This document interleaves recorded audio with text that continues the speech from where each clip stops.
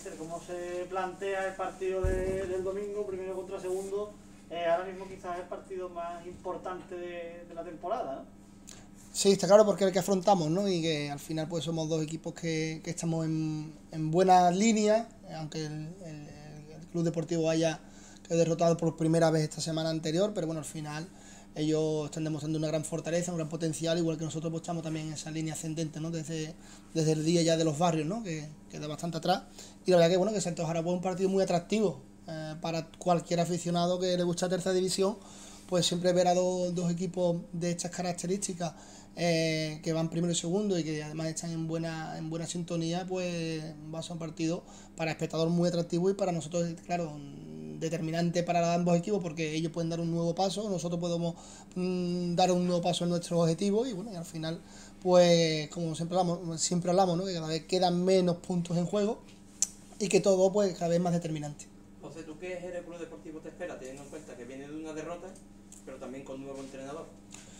Bueno, yo supongo que en general no cambiará mucho, David, porque no, habrá tenido demasiado tiempo también el nuevo Mister de, implantar unos criterios. Está claro que bueno, siempre sus detalles puede intentará implantar, pero la generalidad y viendo que el equipo estaba rindiendo bastante bien a, los, a, los hechos nos remitimos, ¿no? los resultados en sí que, por resultados no, no, es la cuestión.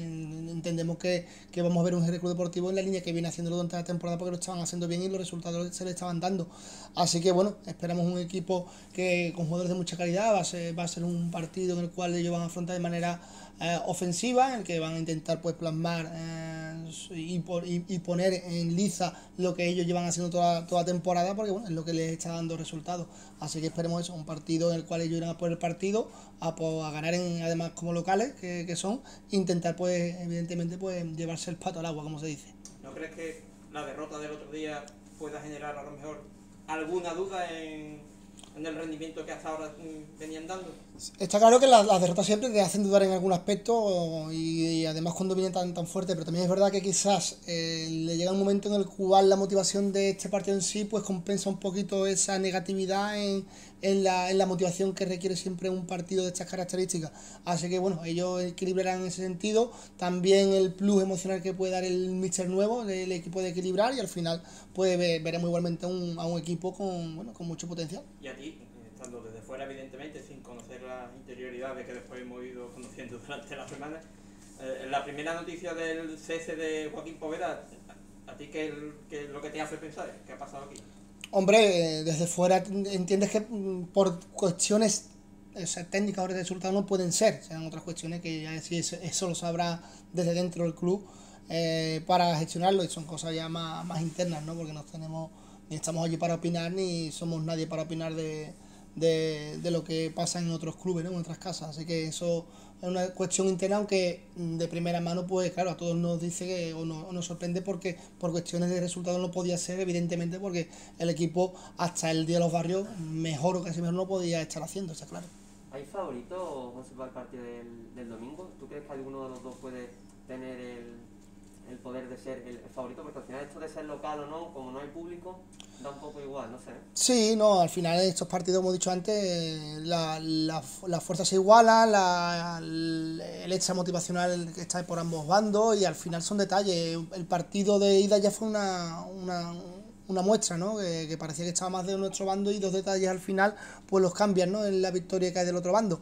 Así que bueno, eh, habrá que estar muy dentro sobre todo eso, esos detalles, cometer pocos errores, estar muy concentrado y a estar muy preparado para, los, para, para aprovechar esas oportunidades que se puedan eh, eh, aparecer para aprovecharlas al máximo, ¿no? Porque esos pequeños detalles, tanto a favor como en contra, pues, pueden ser lo que determinen el resultado final. ¿A ti, a ti te preocupa, no más que otra cosa, el, poderío ofensivo que tiene el Club Deportivo desde el punto de vista de la estrategia, porque no sé si el 60 o el 65 o 70% de los goles los han hecho eh, ustedes mismos, los sufristeis, ¿no? Aquí el, 1-2 fue un, saque de esquina. No sé si en ese aspecto has incidido durante la semana. Sí, son dos de sus características principales, tanto las acciones a balón parado como el, arsenal ofensivo que tiene, ¿no? De cara a gol, que necesita muy pocas oportunidades para, para hacer daño. De hecho, como bien has dicho, también lo sufrimos así eh, aquí, ¿no? Eh, que con prácticamente dos o tres llegadas o cuatro eh, consiguieron un 50% de acierto ¿no? en ellas, ¿no? Y metieron dos, dos ¿no? Una fue una jugada esporádica que nos sorprende a la espalda y otra es una acción a balón parado y además durante la temporada está demostrando también ese potencial de manera constante. Así que sabemos de esa, esa fortaleza que tiene el rival y que está claro que, que es algo que como cada semana intentamos incidir tanto en, lo, en la fortaleza como en las nuestras ¿no? también. ¿Es posible, José, que lleguéis mejor ahora en rendimiento vosotros que en la primera, en la primera vuelta? No respecto a ellos, sino respecto a vosotros mismos venís de cuajar uno de los partidos más completos de la temporada, quizás en el mejor momento de rendimiento, de sensaciones. ¿Llegáis mejor que en el, que aquel partido de la primera vuelta? Sí, porque la evolución al final te la va dando el devenir de la temporada y en estos momentos es verdad que venimos con seis partidos en buena línea, con buenas sensaciones y esa quizás venimos mejor en cuanto a confianza ¿no? y, seguridad nosotros mismos. Eh, eso que no quiere decir nada, ¿no? Está claro que eso día de hoy lo tenemos, lo que tenemos que ahora es, eh, como se dice, ¿no? y lo hemos hablado en el vestuario, que lo, lo, lo, difícil no es llegar, lo difícil es mantenerse. Y tenemos que intentar mantener ese nivel que, que, tampoco va a ser fácil, porque sabemos que es un nivel alto el que el equipo mostró entre el Ceuta, pero bueno, es nuestro objetivo a día de hoy el intentar mantener ese nivel que estamos dentro de los partidos de aquí para atrás, ¿no? tanto ante el Ceuta, en la segunda parte de, de Arco eh, y todos los, anteriores, ¿no? que el equipo la verdad que se ha mostrado muy sólido y, y con la idea muy, muy, clara y ese es nuestro objetivo principal, en que el equipo se muestre eh, con esa seguridad y esa confianza en el terreno de juego, que, que, controle todas las emociones que puedan aparecer por la, por la situación eh, de lo que requiere el partido y bueno, que al final pues eso nos dé un buen, hacer un buen partido y que eso se convierta en un buen resultado. Vaya bendito problema para hacer el 11, ¿no? Yo no sé si tienes alguna posición clara en el sentido de Antonio Sánchez o Mayor, Curro Rivelot o Adri Rodríguez, los centrales o Cadetti Junior. ¿Alguna posición tienes clara a, a esta hora? ¿De esas que, que te he dicho? Eh, no, no, porque, bueno, al final se ha demostrado también durante la temporada y desde que empezamos que los cambios son muy habituales, que muy pocas veces repetimos un mismo 11, que los, y eso quiere decir, además, después de la línea que traemos de, de, lo que último también demuestra de que, bueno, que cualquiera que ha entrado está capacitado y lo hace bien, ¿no? Ya sea una pareja central u otra, ya sea con un punta u otro, al final el equipo eh, rinde y, los cambios no, no, no se notan que, que, los hemos hecho en el 11, incluso últimamente hemos conseguido también un plus, que es que los jugadores que entran de banquillo hacen incluso que el equipo siga haciendo el mismo trabajo que venía haciéndolo durante el partido o incluso den un plus más. Así que bueno, en ese sentido también estamos contentos porque el equipo está mostrando esa, esa línea y bueno, y queremos eso, que todos se sientan partícipes, todos se sientan importantes y que al fin y al cabo cada uno va a tener su momento dentro del equipo. Siempre se habla que este tipo de partido en la cabeza es muy importante, no va a haber público dentro del estadio, pero antes sí va a haber un pequeño recibimiento antes de entrar en la juventud. ¿Qué importancia le puedes dar al rendimiento de los futbolistas a que se le dé ese ánimo antes de entrar? ¿Quieres que tiene, puede tener alguna importancia en el rendimiento luego, sobre todo en la en la motivación del futbolista? Bueno, por una parte, siempre a los entrenadores, sobre todo, y, también a la plantilla, nos gusta tener siempre la misma rutina, ¿no? De, de cumplir siempre, eh, porque vamos a algo diferente en partido como esta semana, si al final es un partido más de liga, no es un partido, digamos, que sea una final de un campeonato, o sea, un, sino un partido más de tres puntos, igual que era el Ceuta, y que en realidad tiene el mismo valor que aquellos puntos en aquel momento. Pero sí es verdad que también echamos de menos eso, ¿no? Eh, la, el calor de la afición que no nos la puede dar en la grada, pues bueno, que si nos lo da en la previa, pues se agradece, ¿no? Y que igual que bueno, que, que ha sido estos partidos, en todos los partidos que pueda lo vamos a agradecer igualmente, porque bueno, es algo que, que hace muy frío al final lo que es el contexto del fútbol y que se echa mucho de menos.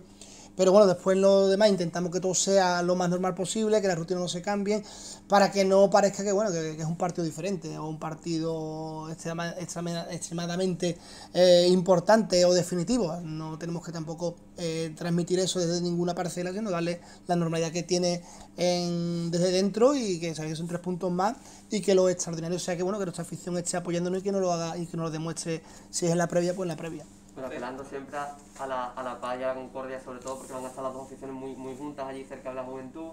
No sé si alguna se quedará mientras el partido por, por fuera, apelando siempre a eso, ¿no?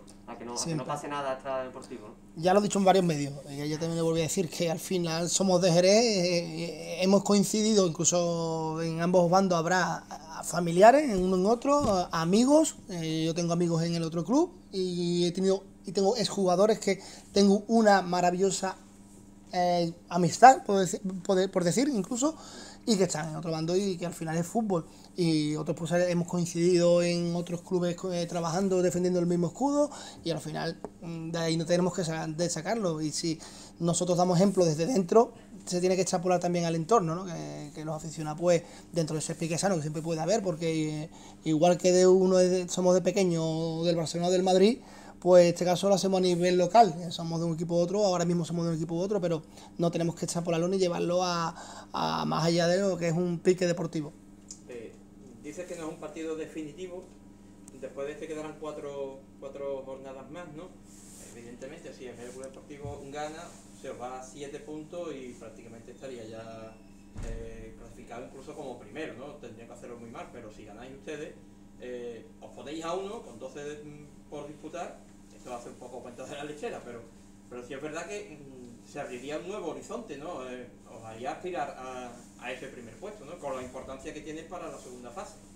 En ese momento sí, pero tampoco sabemos qué va a pasar unas semanas después, ni sabíamos si hace unas semanas íbamos a estar a cuatro, también podríamos seguir a siete, o sea que al final tendríamos que seguir igualmente. O sea, quiere decir que pase lo que pase el domingo, ni acaba temporada, ni se acaban todas las posibilidades, ni, lo- ni, ni si sale bien ya vamos a conseguir algo ya que no está todavía al alcance.